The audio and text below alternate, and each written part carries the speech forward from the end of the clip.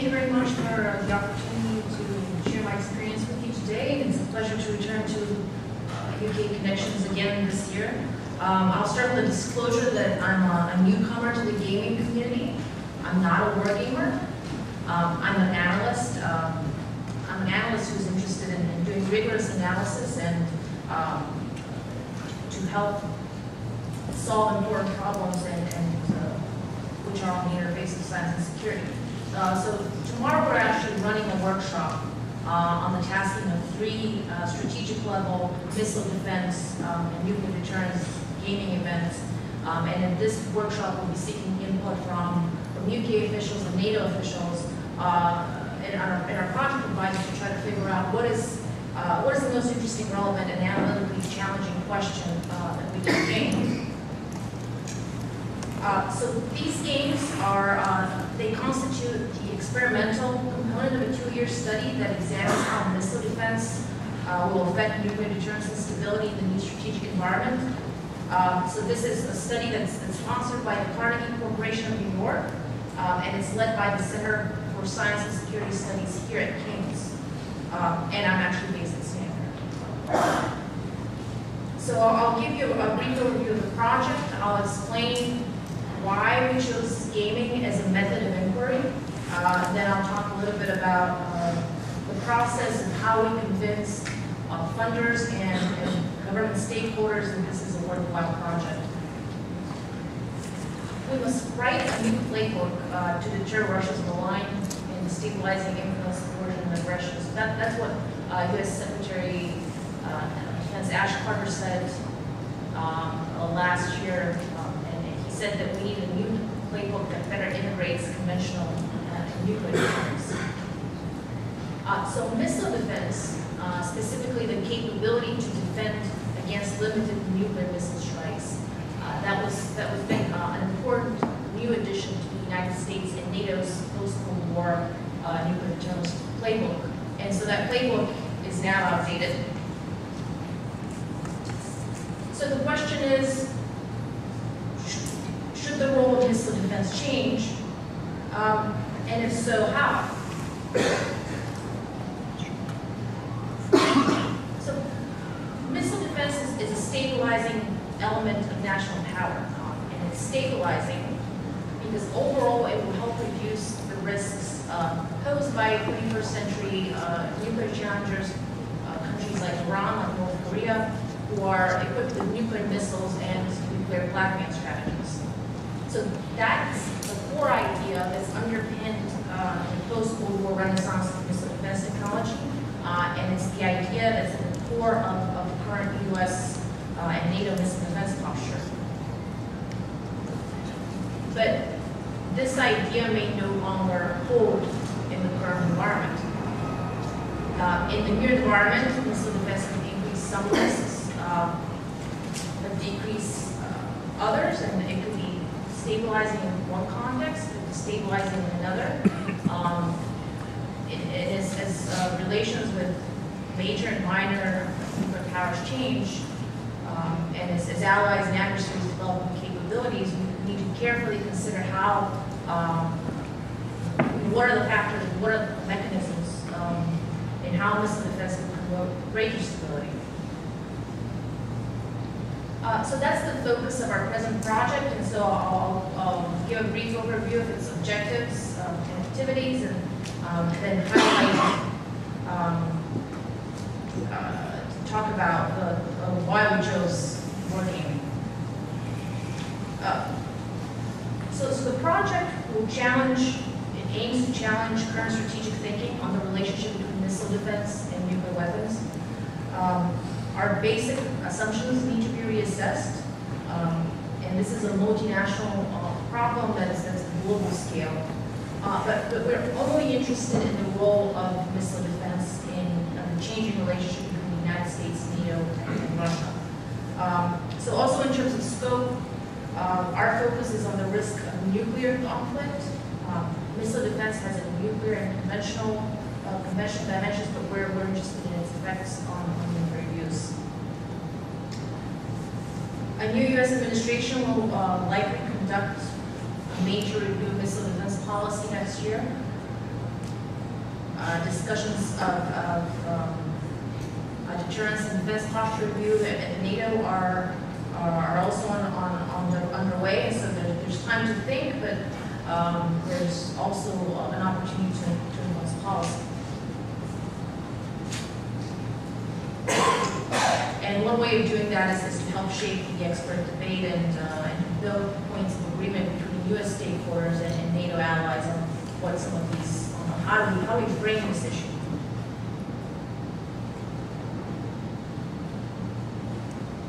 So this is um, a two-year project. It includes five types of activities.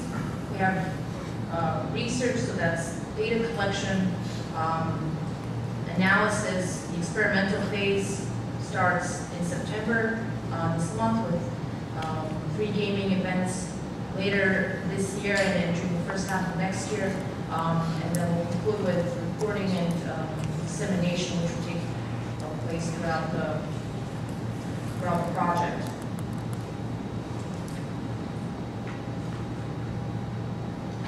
So uh, conducting evidence-based research on missile defense and, and nuclear crisis is very problematic. Uh, missile defense deployments are a relatively new development. Nuclear use is fortunately outside of human experience. Uh, so is it possible to get any empirical data? Um, and the answer is yes, it's possible. Um, and the project will be based entirely on unclassified open source data. Uh, so we have two types of materials that we use. Um, published open source materials, but also interviews with, with U.S. and um, European and Russian stakeholders.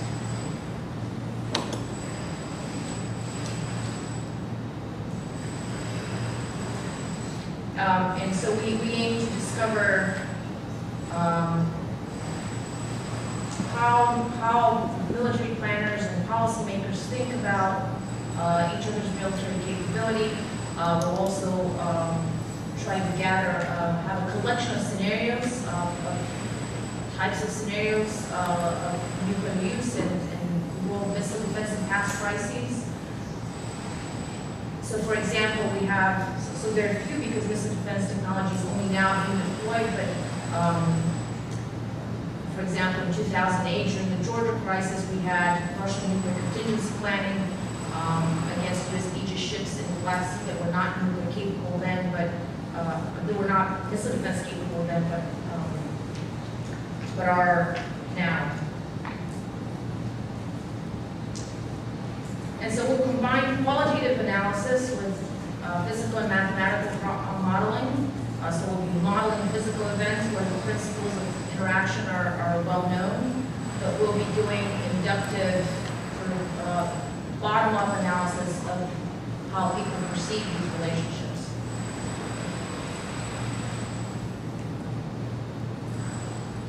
So our aim is to identify the key technical and political factors that influence how missile defense affects nuclear risks.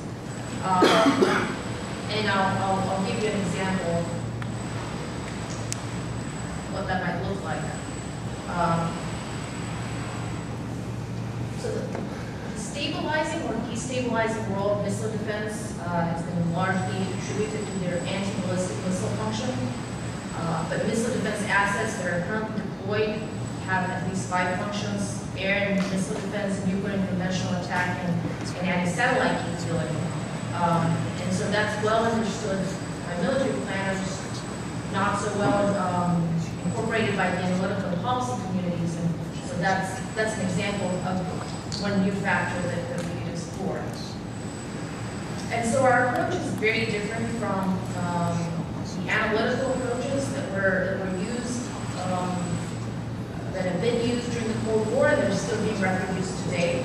Uh, so these nuclear exchange models assume that the mechanisms of interaction are, are well known, uh, but nearly no one believes uh, today that a blowout out of the blue nuclear attack is likely. So, so you know, this kind of modeling is, is, is really outdated.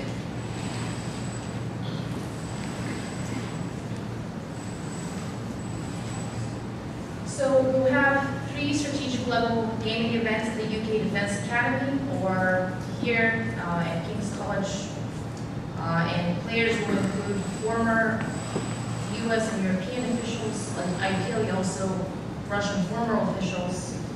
Um, And, and getting Russian participation might be difficult um, in the current political environment, but um, getting people with deep understanding of, of Russian strategy and operations would be, uh, would be possible. So we don't yet know what problems the games should address and how, and, and then how to design them uh, to produce useful insights. So this will be uh, the focus of the workshop tomorrow. Um, And the group will explore uh, what the scoping question um, through three interrelated contexts. So we have the policy context, what are the, what decisions do policymakers need to make in the next two years? Um, Strategic and operational context, so what is the strategic and operational value um, of defenses? Um, And then technology and force structure, so what are some of the characteristics of weapon systems that might be relevant to, um, that might be interesting and relevant to to the, to the, the broad focus of the project. So focus really is to identify uh, knowledge gaps. And the experiments should, should produce insights that help inform the decisions on missile defense and nuclear policy that will be made in the next two years. Uh, and also that help, help to do that, help us understand the strategic environment in the next uh, five to 10 years. Um, And then we'll have an afternoon session that, uh, that is really um, session that explores trade-offs in game design and uh, brainstorm scenarios. Um, And so we've got resources for um, three, three-day gaming events and, and for professional gaming consultants to, to run these, these events. So, so this is the, the general overview of the project, and um, I've been asked to talk about why, why did we choose wargaming? Um, so we didn't start with the question, what problems uh, could gaming help answer?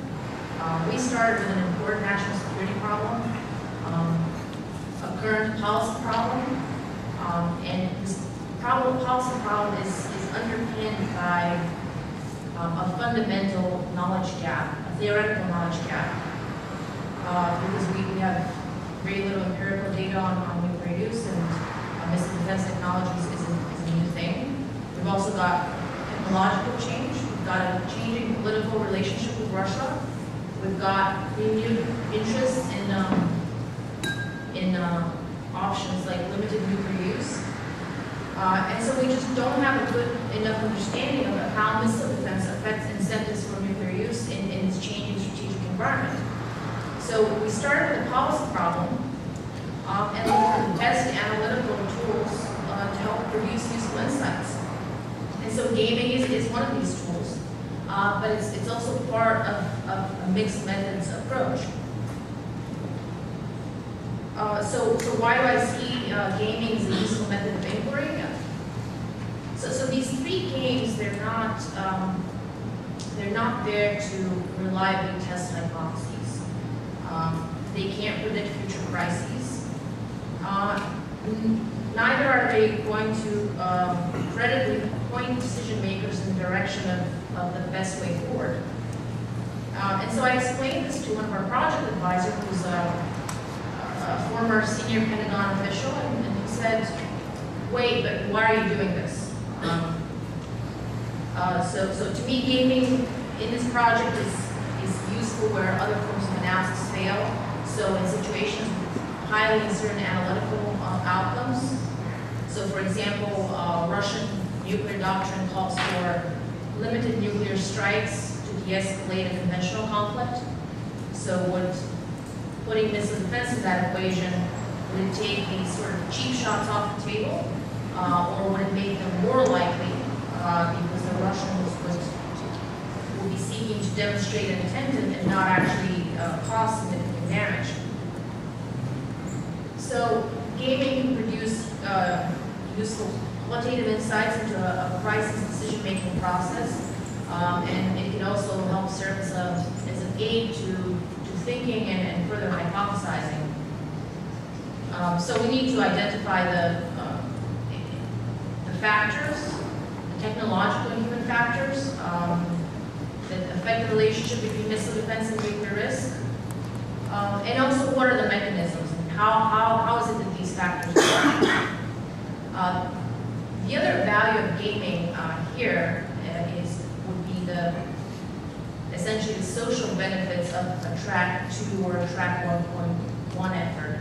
Um, So, so having different participants together in the same room uh, will help create a shared understanding among them, and then hopefully we have Russian and NATO participants, um, will create a shared understanding of the challenges uh, and the new requirements for strategic stability. Um, It's also a way of having, um, gaming can be seen as a structured interview. So it's a way for eliciting expert input into an area where people have no actual expertise.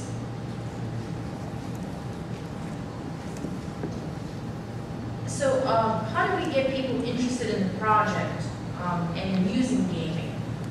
Uh, Well, frankly, gaming was, was not a hard sell. Um, And the only person I had trouble convincing of the merits of board gaming has been Phil Sabin. Um, And Phil is my advisor at King's, and uh, he's advising me against including gaming in my PhD thesis because it's a problematic method of inquiry. Uh, But we've, we've gotten um, good support here at King's, and Wyn Bowen, who heads um, our new school for uh, security studies, uh, he was eager to support the project, and and so now serves as its director.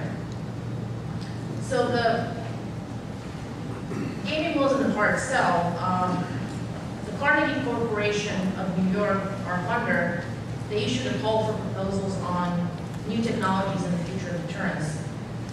And so this was, this was a new initiative for them, um, but Carnegie are one of the largest funders uh, for uh, nuclear security work in the non-governmental um, field. Um, And so they specifically said they, they see value in projects that could do tabletop exercises, some kind of scenario planning, um, and so they, they consider that, that quite innovative. Um, so there were, there were fifty proposals. So they were interested in gaming, but it wasn't easy to, to, um, to get this because there were fifty proposals from European and US research teams and, and only six, six of those got funded. Um, and I think the reason for, uh, for our success and, and the, the key in, in, um, in putting this together is identifying the policy need and the analytical need. Uh, gaming in itself as, as part of a mixed methods approach is, is very appealing.